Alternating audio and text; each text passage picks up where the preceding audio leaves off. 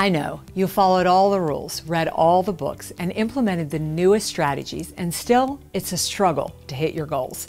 Selling today is tough. Customers demand more, sales cycles are longer, competition is stronger, and getting above the white noise to stand out from your competition, well, that is nearly impossible. In a marketplace that is so different, that has changed so much, doesn't it make sense, wouldn't it seem logical, that we need a new approach, a different strategy for how we sell? If you want to sell successfully in today's marketplace, attract new customers, deepen relationships, and exceed your goals, then you need to redefine how you sell and learn the strategies it takes to open more doors and close more sales.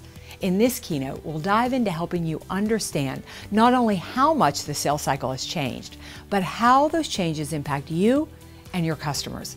With that clear understanding of just how different the marketplace is, we will define step by step what it takes to open more doors, close more sales, and leave your competition in the dust.